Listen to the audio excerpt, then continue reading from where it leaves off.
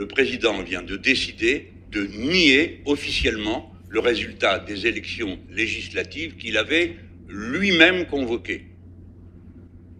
Ce n'est pas le nouveau Front populaire qui est arrivé en tête de l'élection qui aura le Premier ministre et la responsabilité de se présenter devant les députés.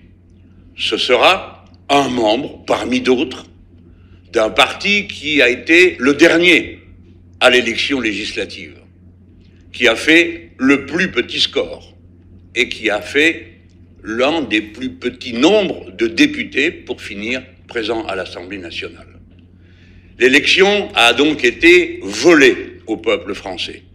Le message a été nié.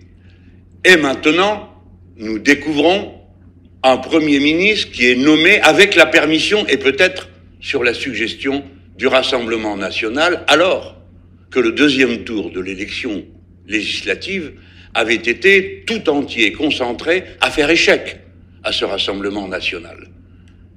C'est la personnalité la plus proche de ces positions qui est désignée. Quasiment un gouvernement de M. Macron et de Mme Le Pen. L'élection est volée, le Premier ministre porte un message de négation de la volonté du peuple français, et ce n'est pas la première fois. Je voudrais dire à ce sujet qu'il a été de ceux qui, après le vote négatif des Français contre la Constitution de 2005 européenne, a préparé le vote par la force du même texte par le peuple français à l'Assemblée nationale, au Congrès du Parlement.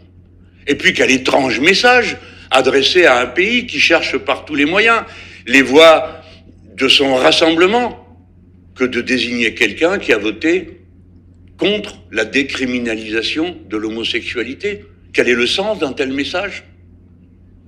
Nous ne croyons pas un instant qu'il se trouvera ensuite une majorité à l'Assemblée nationale pour accepter un tel déni de la démocratie. Et je ne veux pas croire que les Françaises et les Français acceptent d'être traités de cette façon, aux yeux du monde. Ils votent d'une manière et on choisit d'une autre un Premier ministre qui n'a rien à voir avec le résultat des élections. Nous, le peuple tout entier. J'en appelle donc à la mobilisation la plus puissante que possible le 7 septembre pour le respect de la démocratie, pour le respect de la bonne compréhension de ce que sont des institutions républicaines placées sous la souveraineté du peuple, et pour la dignité personnelle de ceux qui ont été votés et qui ont donné un avis que personne n'a le droit d'effacer.